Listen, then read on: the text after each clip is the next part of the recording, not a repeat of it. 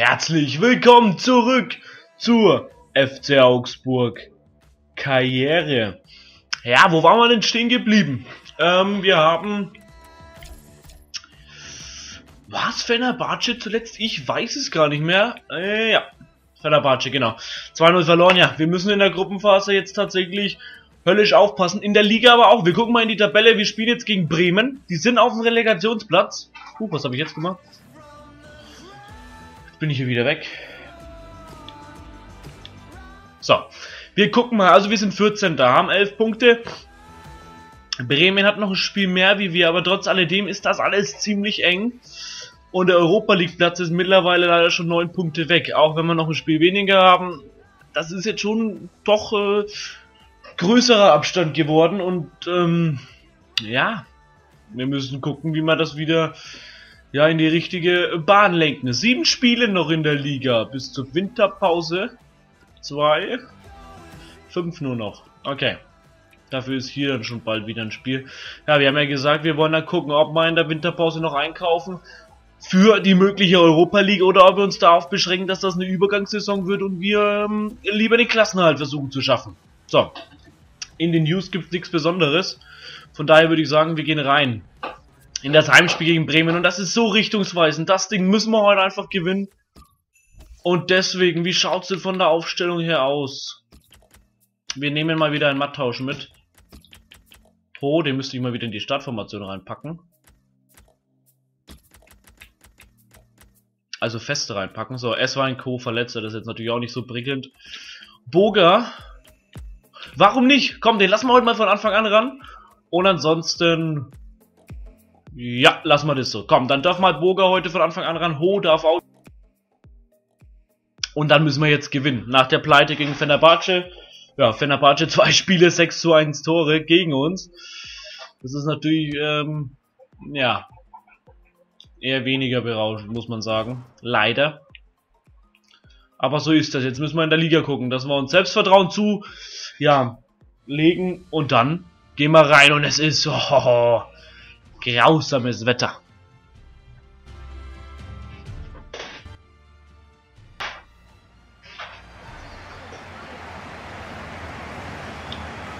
So, ich bin gespannt. Es wird äh, natürlich nicht einfach. Ja, es ist äh, ein Abstiegsduell. Wir elf Spiele, elf Punkte, Bremen zwölf Spiele, zehn Punkte. Aber wir haben halt dann immer noch eins weniger als Bremen. Und das ist äh, so ein kleiner Bonus noch. Aber da hinten lauern dann noch mehr Mannschaften. So, also Jeremy Boger spielt heute. Auf jeden Fall. Und dann würde ich sagen, gehen wir jetzt einfach rein. In diesem Part kommen ja noch die zwei Testspiele mit der türkischen, mit der türkischen Nationalmannschaft, die wir aber natürlich simulieren. Heute muss ein Sieg her. Also darüber brauchen wir nicht diskutieren. Bargfrede. Oh, was macht denn der Max da? Ähm, warum kriegt er den nicht komplett unter Kontrolle? Vorsicht jetzt. Den Einwurf nicht äh, an den Mann bringen lassen. Ja, da stehen wir jetzt mal gut. Und haben den Ball nicht, weil wir ihn wieder verlieren. Das ist scheiße mit diesem Schnee. Ball kommt. Jetzt kein Problem. Bolly auf Chor. Chor wieder. Oh. Das war ein, ein sehr, sehr, sehr ungenauer Pass, muss man da dazu sagen. Galvis. Jetzt spielen sie da wieder rüber. Bartels über die Mitte. Bayer, komm. Komm. Na, kommen wir nicht richtig ran.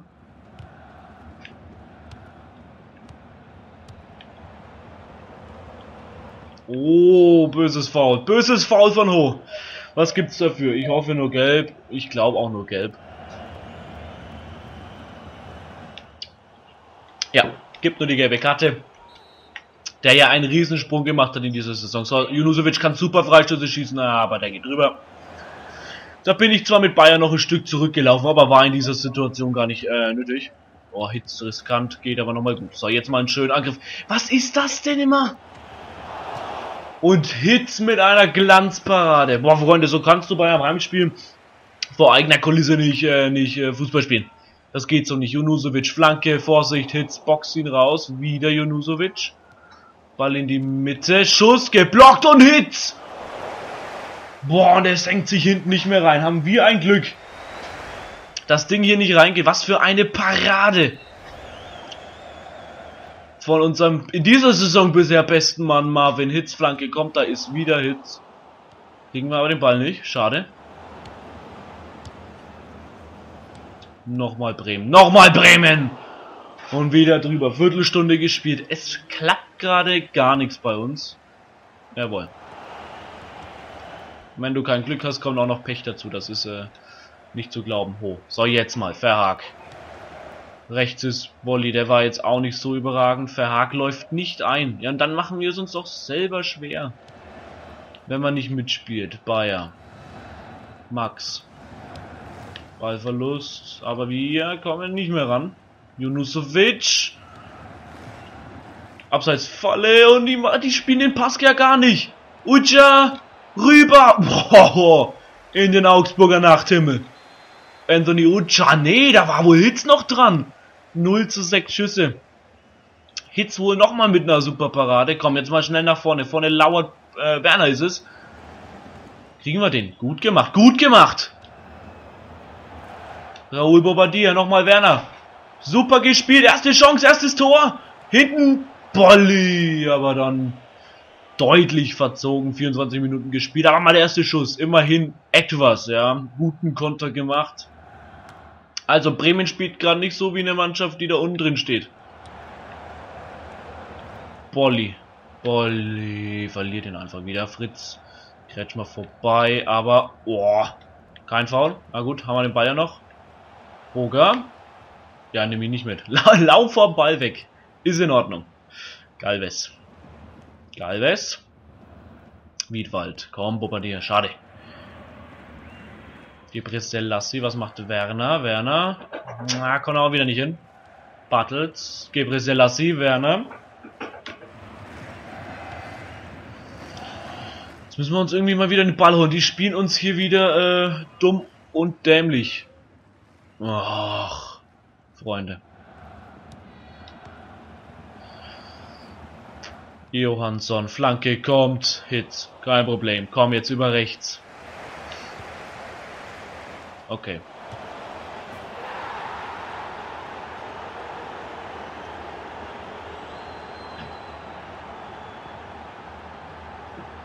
Vierunddreißigste Spielminute 0-1 Bremen, weil wir wieder.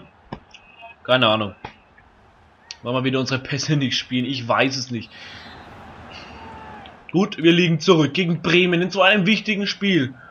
Und so müssen wir wirklich in der Winterpause noch was tun. Ich bin auch ähm, schon sehr am überlegen, wie wir abgeben. Ich bin dafür, dass wir Kayubi verkaufen. Weil der hat, äh, Entschuldigung, der hat nicht das Niveau, um da uns in der ersten Liga zu helfen. Ja, mit dem, was er spielt, da würde ich dann ihn verkaufen und dafür jemand anders holen. Da müssen wir natürlich mal gucken, ja, wer sich da anbietet. Aber ähm, ja, das wird auf jeden Fall ein Ziel von mir sein, Kayubi abzugeben. Ja, und dann müssen wir halt mal gucken, wen noch. Und auch der Pass kommt wieder nicht an. Und jetzt kontern sie uns aus. Ho kann es vielleicht noch retten. Ucha. Ne, Fritz ist es. Verhag. Blanke, die kommt hinten. Senkt sich, aber Abstoß. Fünf Minuten noch knapp. In der ersten Hälfte. Wieder dicker Patzer, aber Ho. Aber Ho rettet das mal in allerhöchster Not. Warum spiele ich die Dinger mal so kurz? Das ist so riskant. Aber das macht man irgendwie immer aus Reflex, ja, weil was bisher, zumindest ich habe es bisher, ich spiele eigentlich immer nur kurze Bälle. Ähm, aber vielleicht sollte ich das auch mal lassen. So. Bayer, Bayer, gut. Werner.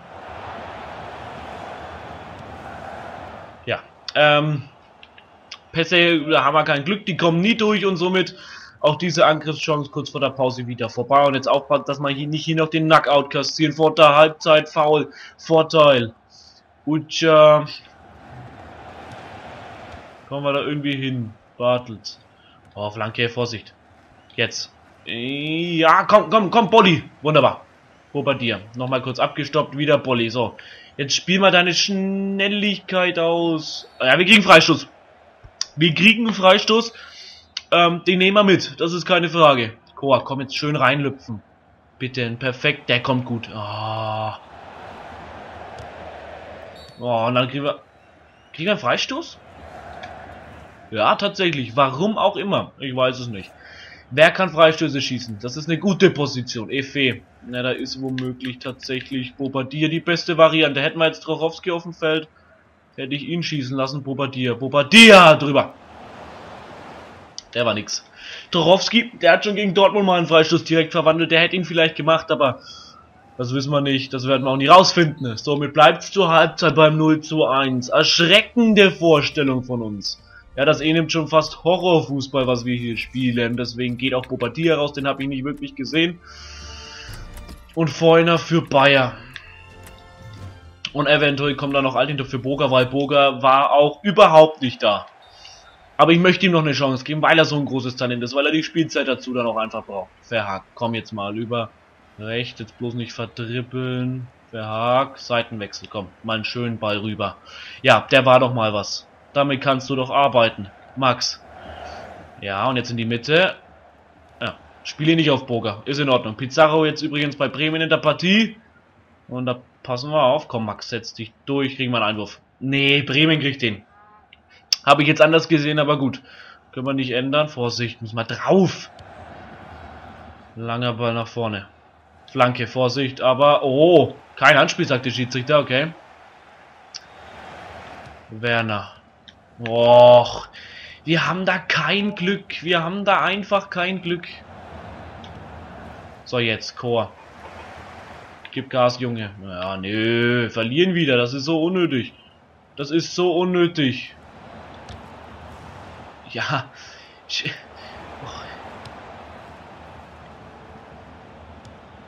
Und das ist so nervig und das ist Riesenglück für uns. Also das mit diesem, ja, ich sage ich, ich sag in jeder Folge das Gleiche, genau. Ja.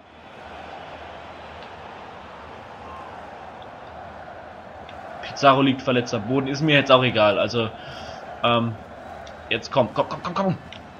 Ja. Hm. Hm, ja. Gut. Und als nächstes geht zum VfB Stuttgart das nächste, glaube ich, ähm, Keller-Duell. Wenn mich nicht alles täuscht. Außer Stuttgart hat sich da mittlerweile rausgespielt. So, jetzt komm. Ja, und wo bleibt Max? Das darf doch nicht wahr sein. Ja. Und dann ähm, verlieren wir den Ball wieder am gegnerischen Strafraum. Und so kannst du dir auch keine Chancen herausspielen. Wie viele Schüsse hatten wir jetzt? Zwei durch diesen Freistoß noch. Einen, ja. Und dann, ähm, klasse. Und mir bleibt jetzt gerade auch nichts anderes übrig, als einfach mal offensiv reinzugehen, weil wir einfach keinen Fuß in die Tür bekommen. Pizarro. Als nächstes für Bremen das Nordderby und Hits. Freunde, hätten wir diesen Kerl nicht, wo würden wir bitte stehen? Am Tabellenende? Fragezeichen. Hätten wir ihn nicht, wir würden weiß Gott wo stehen. Boga, komm jetzt zeig doch mal, dass du was drauf hast. Mattausch, wo spielst du diesen Ball hin? Ich verstehe es einfach nicht. Ich wollte ihn einfach wieder auf Boga spielen, aber nein, er bekommt es einfach nicht hin. Wir bringen Boga für Werner, weil Werner ziemlich ausgelaugt ist. Und dann kriegt halt Kajubi doch nochmal seine Chance bei uns. Mann, spiel ihn doch einfach locker, ruhig auf Boga. Nein, du spielst ihn äh, mitten in die Pampa. So, Bolli, mach das erstmal gut. Mach das erstmal gut. So, jetzt ist links einer komplett frei. Gewinnen wir das Kopfballduell? Nee, da sind wir zu klein dafür. Da haben wir keine Möglichkeit, das zu gewinnen. Komm jetzt drauf. Freunde, das gibt's doch nicht.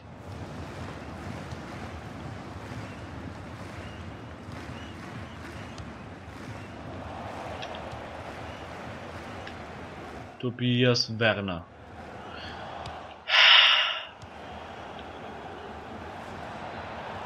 Natürlich, natürlich. Und wieder Hits. Und wieder Hits. 13 Minuten noch.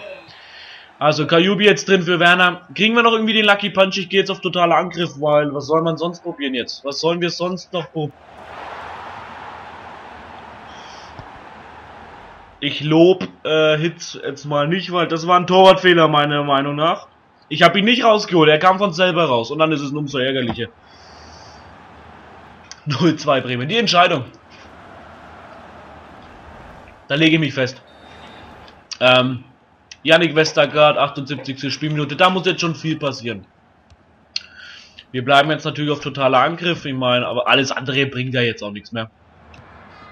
Und dann sieht es für uns bisher in dieser Saison ziemlich madig aus. Kayubi, nochmal Max.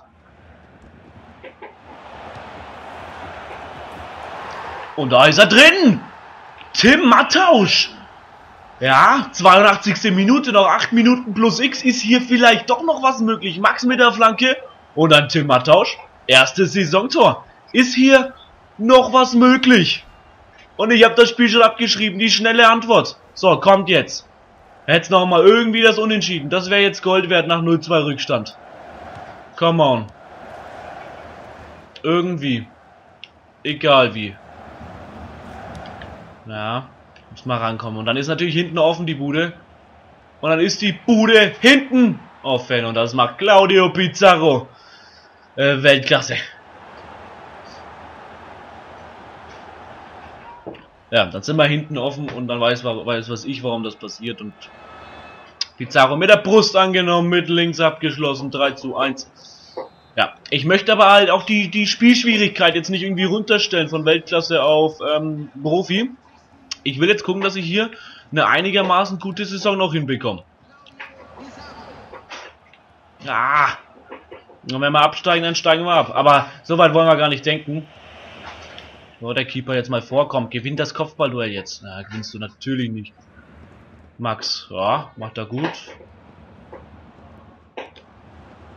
Und dann verlieren wir ihn aber doch wieder ziemlich schnell. Und dann ist die Chance wieder gegessen. Ja, wir verlieren das Ding hier, leider Gottes. Und dann gibt es natürlich nochmal einen Freistoß. Ach ja. Freistoß kommt. Den klären wir nochmal raus. Kayubi. Mattausch nochmal links. Ho.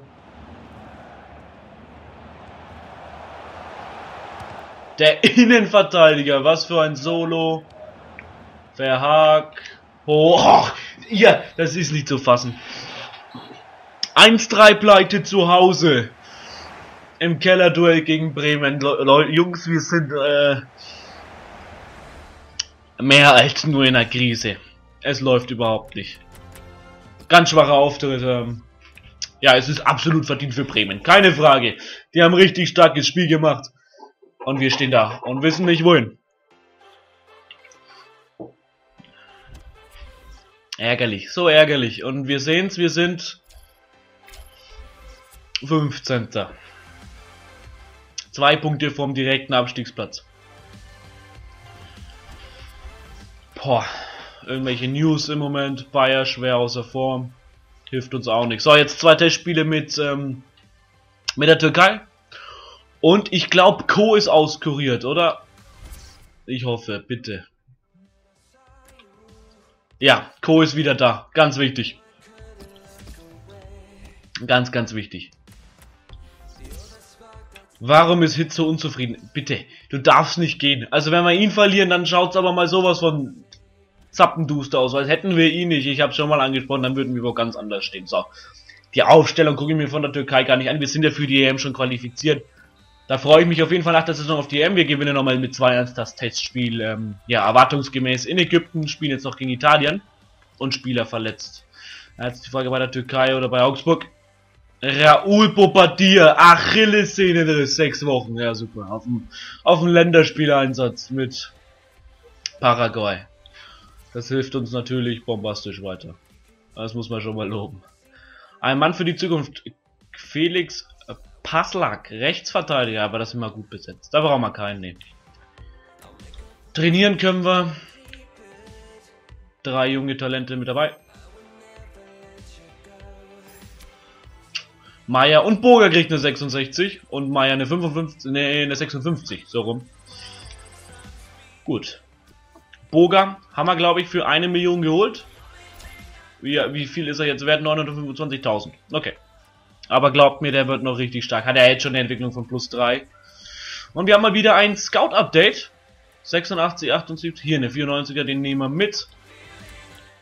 Aber beim 86er tue ich mir schwer. Den beobachten wir mal noch ein bisschen weiter. Ähm, und ja. Genau. Und dann gehen wir nochmal in ein Testspiel mit den Italienern. Steht schon die, ähm, die Europameisterschaftsgruppe eigentlich fest? Wir haben hier nochmal ein Duell. Bla bla bla. Juni, Juli, nee. Steht noch nicht fest. Gut. Müssen wir noch warten. Jetzt gucken wir mal rein hier in das letzte Testspiel. Und dann neigt sich der Part auch schon wieder dem Ende zu. Und ein, ja, sehenswertes 2 zu 2 gegen Italien. Gibt auch nochmal Selbstvertrauen. Damit geht's zum nächsten Abstiegsknaller. 13.